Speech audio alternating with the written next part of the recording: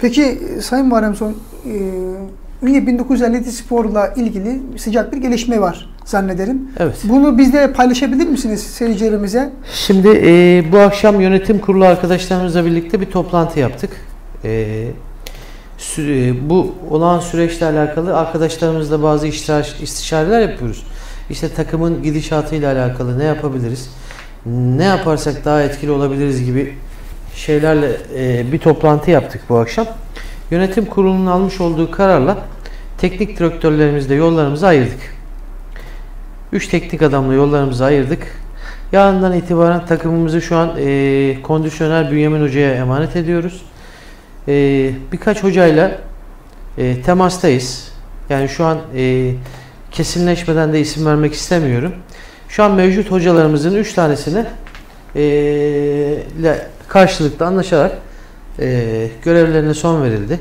Yani feshettik. E, bundan sonra e, arkadaşlarımıza e, Ünye Spor Kulübü'ne yapmış oldukları bu zamana kadar desteklerden dolayı teşekkür ediyoruz. Hepsi bizim kardeşimiz, arkadaşımız. Ama bu e, bireylerin aldığı değil, yönetimin aldığı bir karardı. Saygı duymak lazım. Onlar yönetici, e, onlar da hocaydı. Sonuçta böyle bir ayrılığın daha iyi olabileceğini yönetici arkadaşlarımız düşündü.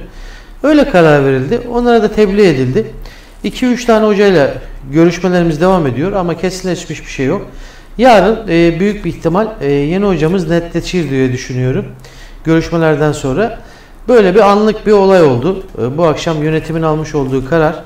Saygı duymak gerekir. İnsan çalışmak istediği e, hocayla çalışmak ister. Yani kan değişikliği belki bu takıma iyi gelir.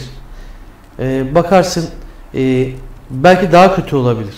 Yani ama e, yönetim burada taşın altına elini koyup e, hoca değişikliğine gitmeyi daha e, sıcak baktı.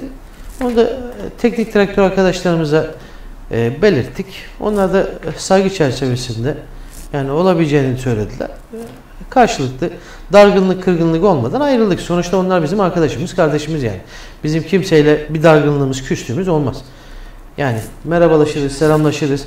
Ünye Spor bizim ortak noktamız. Başarılı olması gerekiyorsa başarılı olacak. Ee, yani başarılı olamıyorsa da e, zarar hem kendilerine hem bizlere çünkü. O yüzden yarın büyük bir ihtimal yeni hocamızla anlaşacağız diye düşünüyorum. Şu an ismini söylemek istemiyorum ama daha kesinleşmiş bir şeyimiz yok.